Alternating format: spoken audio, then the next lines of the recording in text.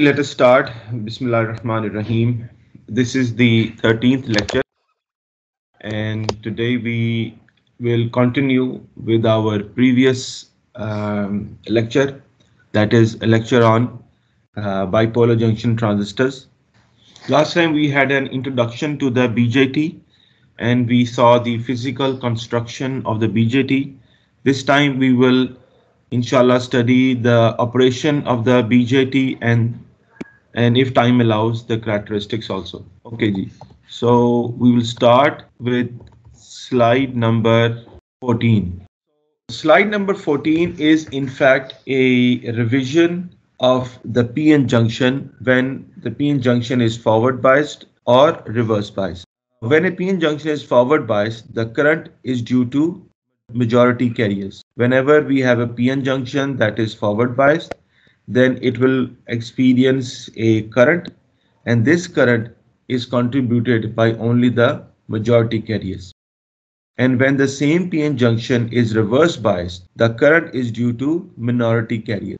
But since the minority carriers are in a very, very low concentration, therefore we have a very, very small minority current and thus we normally neglect the minority carriers. And we say that there is no current. Although there is a current maybe in microampere or even nanoamperes but since such low ampere amperes cannot be measured with our normal meters with our normal digital volt ampere meters or when the diode is reverse biased there is no current. And you, we will use this fact in our today's lecture let us look at the properties of the PN junction under reverse bias condition. In this diagram, we have a normal PN junction. We have the p-type, we have the p-type material. It has a large number of holes. It has a large concentration of holes. We have the p-type material. It has a large number of holes. It has a large concentration of holes. And then we have the n-type material, which has a large concentration of free electrons. And when we join them together, there is a depletion region at the junction of the p-type and the n-type material. Now, with this p-n junction, if we reverse bias the p-n junction, that is, as shown in the next diagram, if we connect the positive terminal of the battery to the n-type material and negative terminal of the battery to the p-type material, we get a PN junction that is reverse biased. We get a PN junction that is reverse biased. Now, what will happen to the depletion region? What will happen to the depletion region? The depletion region under reverse bias condition, it will widen. It will increase in width. The electric field inside will be large. Now, this is the first thing that will happen and then minority carriers to cross the PN junction easily through drift. That is, when the PN junction is reverse biased, then minority carriers, they will pass very easily through the PN junction. Now, let us look at the p-type material. The p-type material has large concentration of holes and the minority carriers in the p-type material will be electrons. So if we take an electron in the p-type material, I will draw electron over here. This is an electron in the p-type material. The existence of the electron in the p-type material is like a minority. The status of the electron in the p-type material is that of a minority carriers. That is, in the p-type material, electrons are in minority. And when we reverse bias the PN junction, this minority electron in the p-type material will pass easily through the PN junction by the help of drift. When we have reverse biased our PN material, our PN junction, then only the minority carriers they pass through the PN junction. So minority carrier to cross the PN junction easily through drift. Current is composed mostly of drift current contributed by minority carriers. This is very important that when the PN junction is reverse biased, then current is composed mostly of drift current contributed by minority carriers.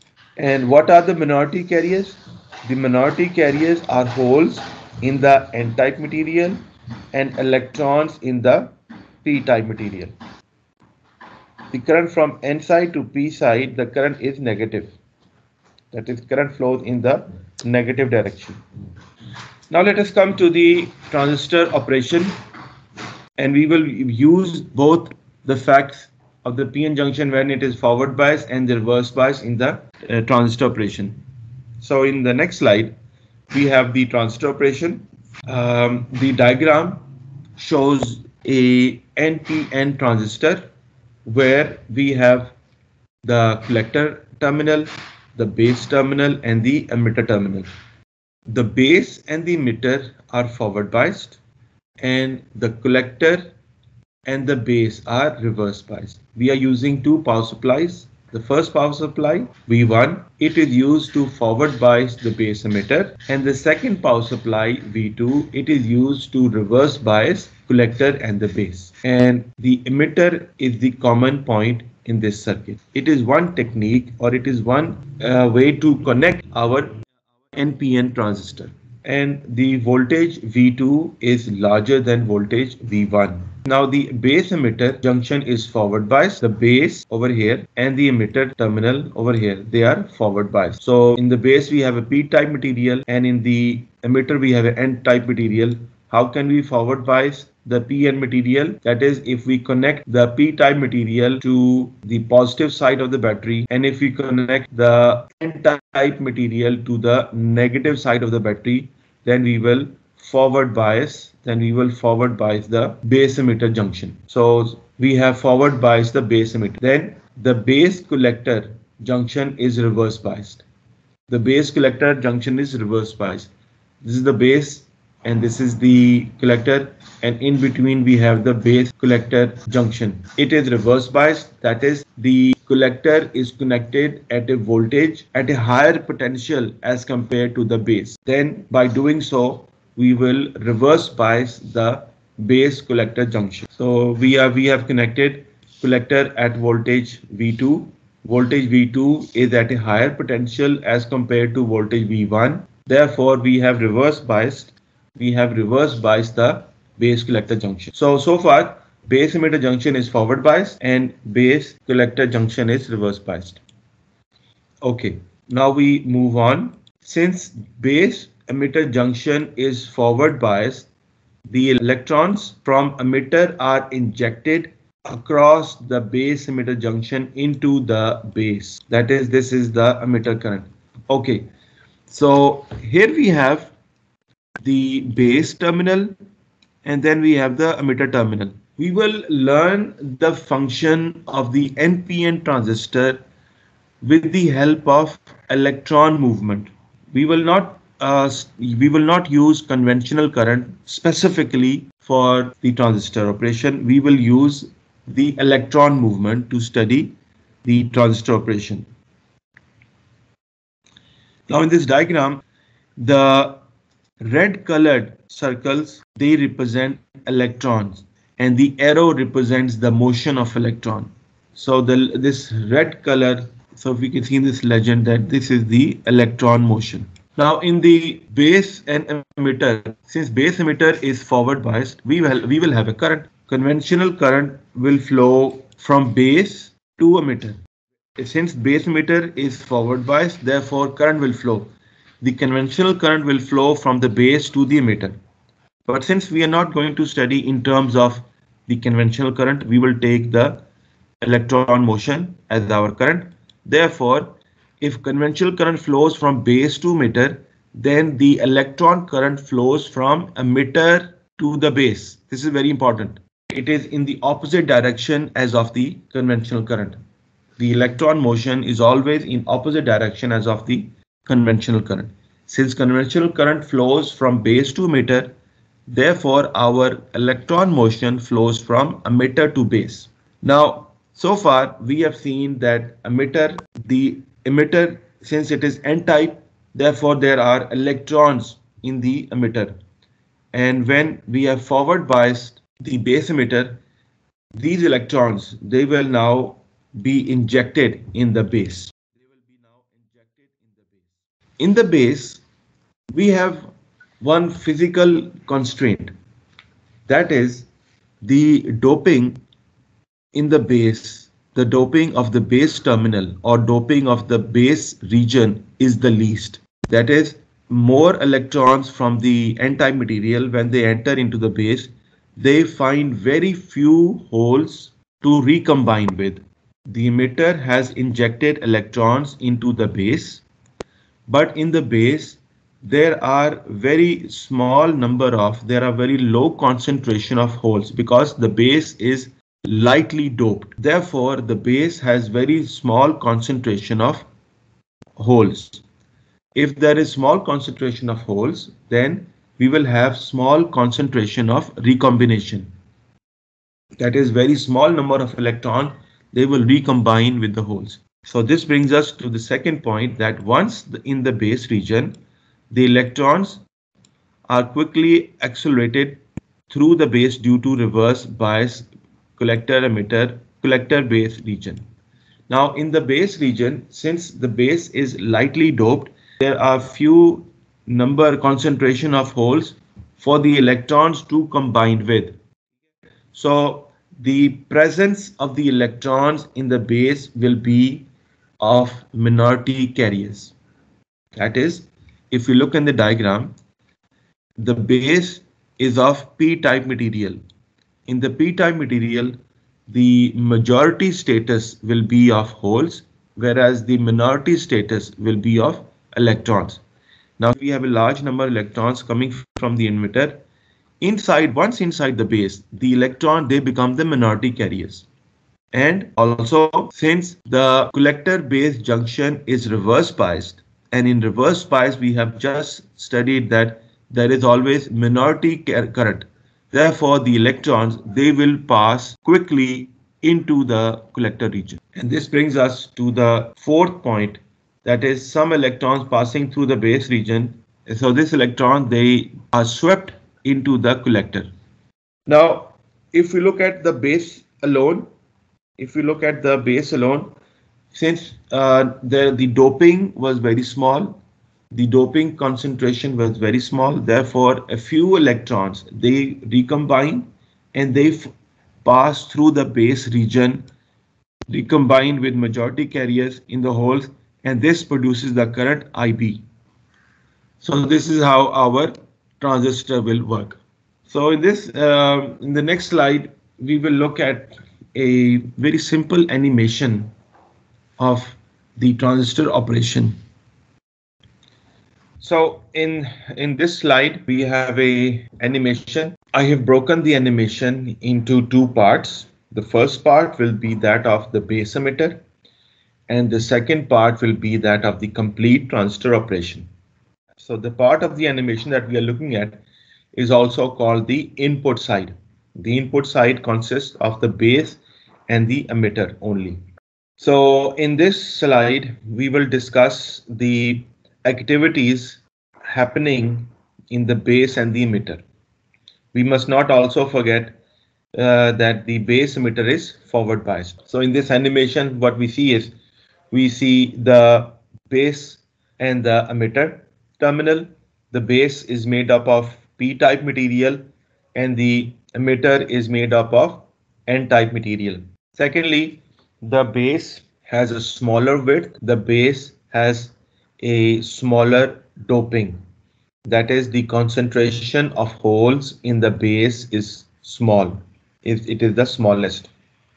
Whereas the emitter has a moderate width but it has the largest doping level. That is in the uh, emitter, since the emitter is made up of n-type material, therefore the concentration of electrons will be the maximum. Th then we have a resistance RB. RB is a limiting resistance. It will just control the amount of current that will flow. And then we are using an external power supply called VBB and this external power supply is used to forward bias the base emitter. since the base emitter has a normal barrier voltage of 0.7 volts, therefore the external power supply voltage should always be larger than 0.7 volt. So in our case, we are taking VBB larger than 0.7 volt. And what will this do? It will forward bias the PN junction. When the PN junction is forward biased, we have majority carriers flowing from the base to emitter. And if we talk in terms of electron, then we will have majority carriers, that is electron flowing from emitter to the base. Now, this is exactly what is happening in the animation that we see electron movement. These carriers that we see that are moving, they are in fact the electrons that are in motion. So with the base emitter forward bias, we see electrons, they are moving. We also see a fact that since concentration of electron in the emitter is large, and when these electrons, they are injected inside the base, only few electrons, they recombine with the holes in the base and they travel into the positive plate of the battery. That is, they become base current whereas the remaining large majority of electrons, they are left without recombination. Now we come to the next slide. In the next slide, we see these complete mode of operation. We see the complete mode of operation of that is we see the complete transistor operation. We have the same transistor. We have an emitter. It is of n-type material. Then a base. It is of p-type material and collector again of n-type material. The base emitter is forward biased. The base emitter is forward biased, whereas the base collector is reverse biased. Now, we have already seen the working of base emitter. That is, the, the base emitter is forward biased and base has less concentration of holes. So a very small electron they recombine and create a very small base current. Now the remaining part or the remaining electrons that are present in the base, they are swept away from the collector. They are swept away into the collector and this makes the this current this current makes the collector current. The collector current the collector current is due to the electrons that were injected in the base, but those electrons could not recombine and they were left idle. And then since the collector is positive in nature, since the collector is positive, therefore this positive electric field attracts or swipes, swipes away the electrons in the base and hence we get a collector current. So this is how the transistor it will work. And to summarize, uh, let us look at this diagram. It is almost the same diagram. V1 is the power supply that forward biases base emitter. V2 is the power supply that reverse biases base collector. Now, some electron recombine with holes injected in the base region. However, most of the electrons are swept across the base region by the electric field at the base collector junction. So we will find that the base current is very small because inside the base the concentration of holes is very small. The large number of electrons that were injected from the emitter into the base are now swept away into the collector by the positive electric field of the collector. This is the transistor operation in terms of electron motion. However, if we look, if we want to look at the transistor operation in terms of conventional current, then it will always be in the opposite direction as a, as that of the electron motion. That is now the electron they flow from emitter to base, then then the conventional current flows from base to emitter and this is called the base current IB. And secondly, if conventional electron, they flow from base to collector, then the conventional current flows from collector into the base and then into the emitter. And this is called the collector current, IC. Inside the emitter, we have two currents, the base current and the collector current. And this current in the emitter, it is called the IE or the emitter current, which is always the combination of base current and the collector current. That is IE is equal to IB plus IC. Now in the next slide, we will summarize our conventional currents and their relationship. That is, we have just learned that IE, which represents the emitter current, it is equal to base current IB plus collector current IC. IE is equal to IB plus IC. This diagram now shows current in the conventional fashion. That is, inside the base, we have the base current. Inside the collector, we have the collector current. And coming out of the emitter is the emitter current. And the relationship between IE, IB, and IC is that IE, that is I emitter, is equal to base current plus collector current. And secondly, the relationship between collector current and base current is IC is equal to beta times IB. Beta is the gain of the transistor. Beta is the gain of the transistor. IC is equal to beta times IB. Beta is a constant number. It is the gain of the transistor and the value of beta is normally found uh, from the data sheet provided by the manufacturer of the transistor. And then the emitter current in terms of base current is equal to IE is equal to IB bracket 1 plus beta. So this can be found by rearranging equation number 1. And the relationship between collector current and emitter current is called alpha alpha is equal to the ratio of collector current divided by emitter current. Alpha is equal to collector current divided by emitter current. And alpha is normally very close to 1. So these are the important parameters of the transistor. So uh, my dear students, I will finish this online class over here.